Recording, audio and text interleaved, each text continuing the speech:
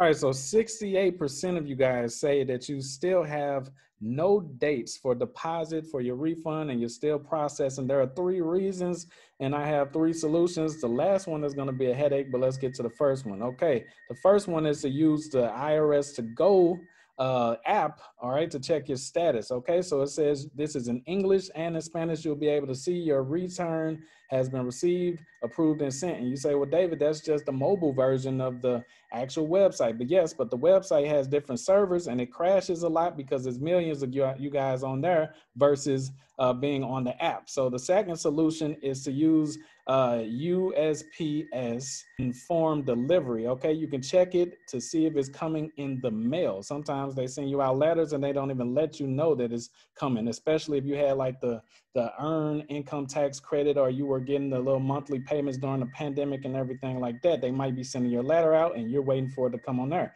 So last but not least is one that you guys will not like. It is to go ahead and call. And yes, they could keep you on there for hours and they might hang up on you.